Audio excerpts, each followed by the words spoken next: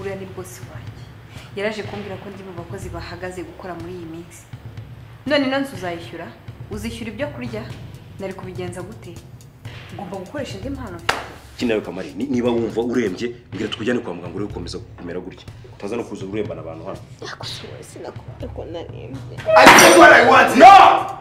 Asoni. Wowe. Siko nta burenganzira ufite bwo gukubita no ku meza hano wowe.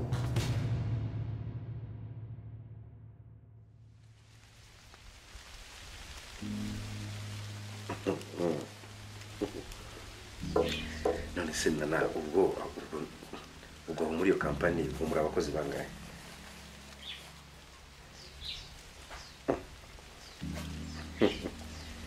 Nana ukaba ushatse kumbwira ko mu bakozi bose ijana na makumyabiri uri makumyabiri na batanu basigaye?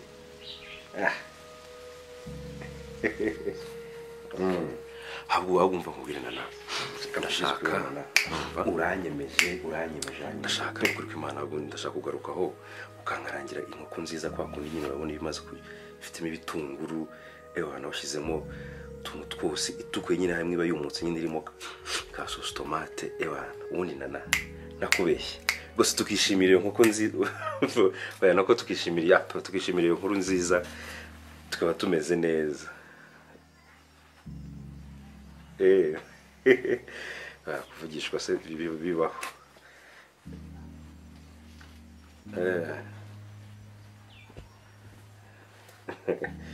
ok sawa ntari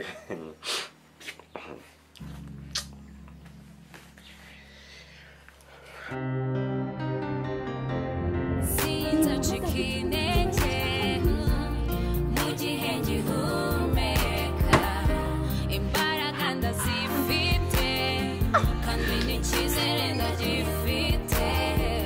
always around.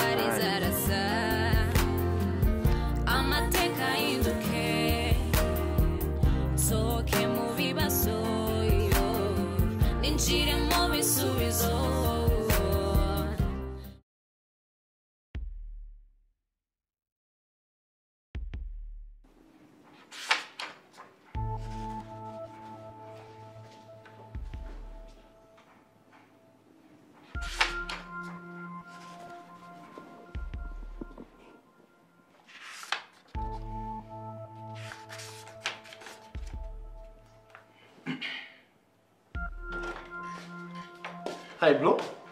Man, kuri hano wenyine mu cyumba. Urifungira na iki. Hey, why you here? Wenyine tu. Franco, Yes. ndimo gusoma man, ntabwo ubibona. Bro, ngwino tujye gukina game gatoya, okay?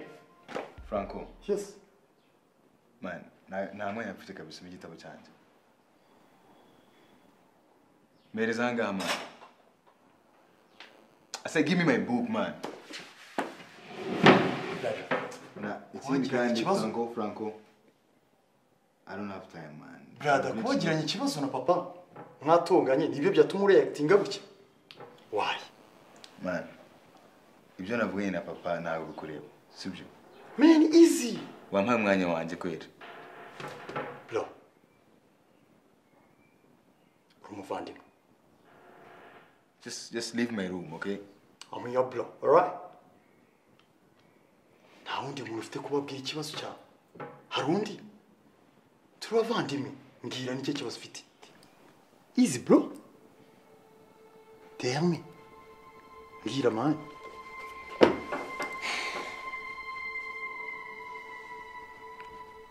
Franco, Yes.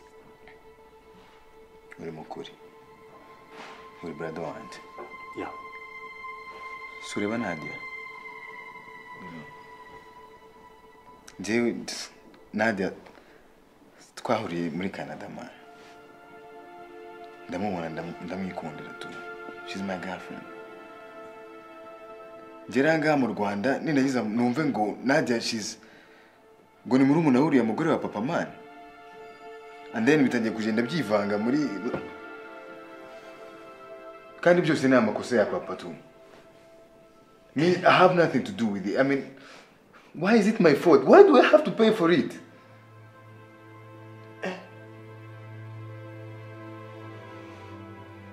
Twagira ngo ni muri telenovela. Man I mean, njye ntabwo mbyumva man. Njye byandenze kabisa.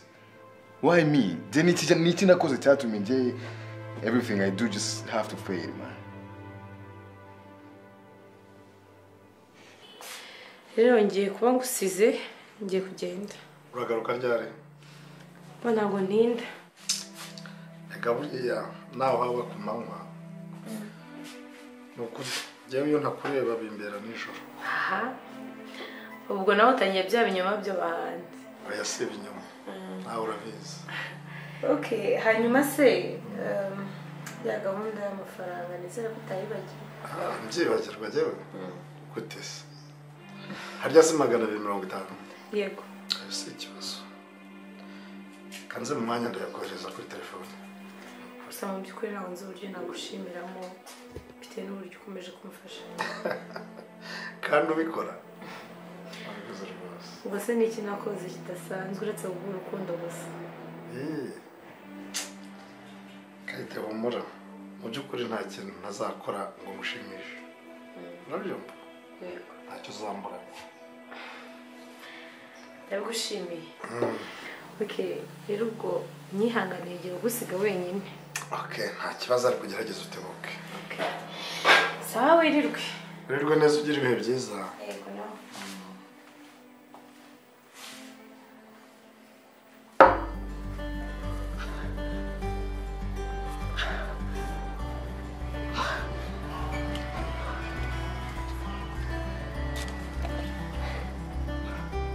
ese uri mu bikira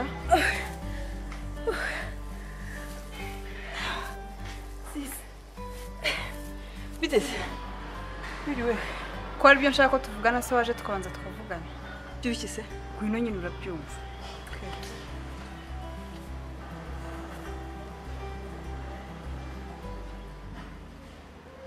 Ese kutarariye mama rwose njye ibyo byo mu rugo bisigaye byarananiye pe. Uriya mukobwa asigaye ateka nabi. Niyo ntashye rwose nta nta na peti n'imwe ngira gupfundura amasorori. Uriya mukobwa uramurenganya n'igihe wabitetse ko n'igihe wabitetse. Mama kabiri kangahe se utegamo n'urugo kamariza se yagiye ariko se uriya mukobwa ngaho arataka umugongo arataka umutwe arataka ibitugu. Biba byanyobeye ni ntase ntabwo arajya kwa muganga? Nyine ndamubwira ntiwagiye kwa muganga. Jya kwa muganga. Ubwo akambwira ngo ngo arumva ngo biri bushire. Ibyo ntabwo byumvikana. Tukamuri uyu mubazi nige wa muhungu we? Iyo umuntu akubwiye ngo ararwaye aba arwaye none se mama. Ko no mu busanzwe uko nimba uko umuntu arwaye ajya kwa muganga akivuza wenda bakamumwandikira n'imiti akabasha kumera neza. Ubwo uramubwira ngo ibyo ni ibiki koko? Hmm? nyamara ukuri nkamubaza kuko n'ukuntu yari yawundaje rwose ngiye ndumva. Ko se yaba ukuraje hehe biriya biryo byuzuye hariya wigeze ubimara? Rega mama njyewe kiba kiri kumbabaza kurusha ibindi.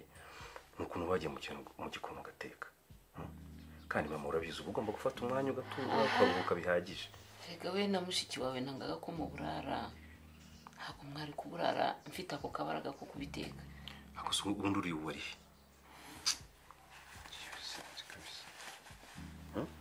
ibibazo turimo wagira ngo we ntabyita habe na gato ntabwo bimureba. Ziri urabizi twarabanye. Ndagucumbikira hashize iminsi ariko hari ibintu tutumvikanaho byukize hari ikibazo gihari oya nta kibazo pe nta n'icyo nkubureminga kubera kumfashiriza abashyitsi neza uturimo two mu rugo uradukora ibyo nta kibazo ni inshingano zanjye ngomba abashyitsi kubaha kevu rwose si ibyo ntabwo ari ngombwa kubinshimira nta kibazo ni uko umeze nk'uwashimye ubushyitsi ese ujya utekereza byibura ko hari ahandi hantu ushobora kuba? Hano biramutse bihindutse cyangwa nkahava ujya utekereza ahandi hantu wajya? Izo sisita banyirukanye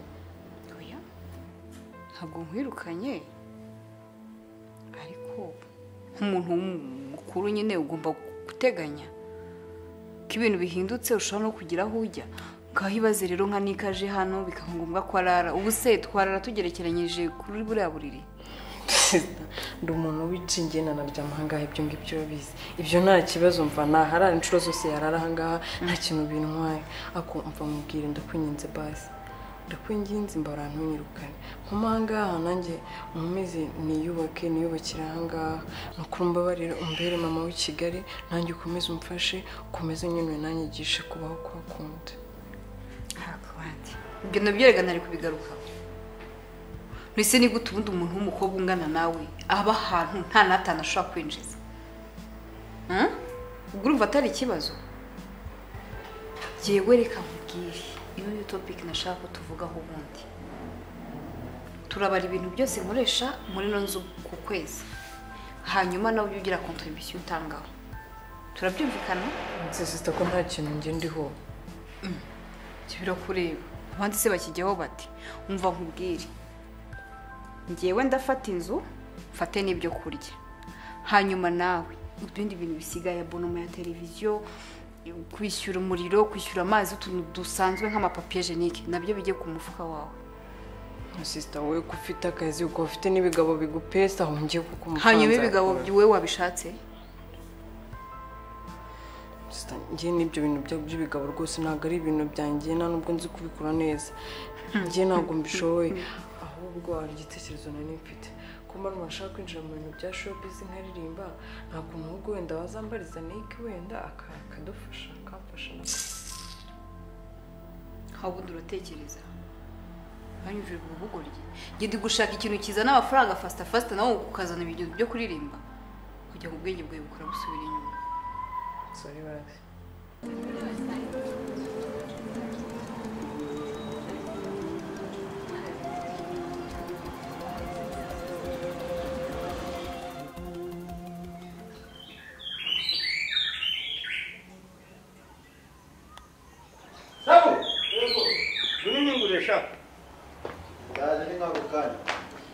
Banguka papa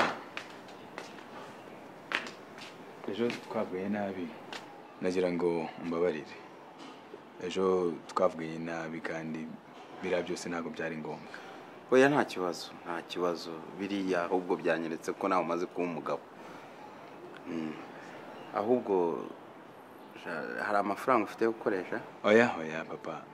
Ahubwo by the way ndashaka ko niba uza kubona umwanya uyu munsi nari kuguha amadolari waza kubona forex biro ukamvunjishiriza. Uyu munsi nta mwanya ndi bubone uyu munsi ufite abarwayi benshi cyane nta mwanya ndi bubone nawe nawe. Eh, ahubwo telefone yawe irimo irakira amafaranga? Oh daba yarabinkoreye ejo birakunda. Eh, ndakohereza nk'ibihumbi magana abiri. Ibyo ayo ngayo ntabwo ari bugufashe? Hanyuma nta kibazo. Ubwo turaza no gushaka ukuntu twabona umwanya tugushakira akazi hano mu rwanda utangire ukore. Oh, papa murakoze kabisa. Eh, mugire umunsi mwiza. Eh. dabu! Dabu! Ndakingura. Ariko jya ugabanya amagambo. Siko naje nyine nkabona muri mu ma staff yanyu. Ko amagambo ugira? Hanyuma wowe ibintu byose birahari mu gikoni ni tayari cyaterwa n'ibyo ari byo. Ndakubaza ibikureba ibyo kurya eh, ibikoresho muri tuwarete ibikoresho by'isuku byose tayari birahari nta kibazo. Birahari ariko nk'ubu ngubwo mbajije ngo ngo hakenewe ibiki ntabanza umuntu akareba nyine ni ibiki bihari ni ibiki bibura noneho agakora nyine bije imeze neza. Kugira ngo nyine tutagira n'umwe uraburiza muri twebwe haba ngewe nawe ngaho genda ukingure.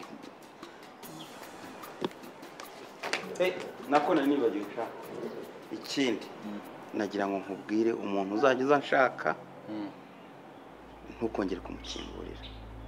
Ahubwo mujye mumuha nimero zanjye za telefone hanyuma tuvugane.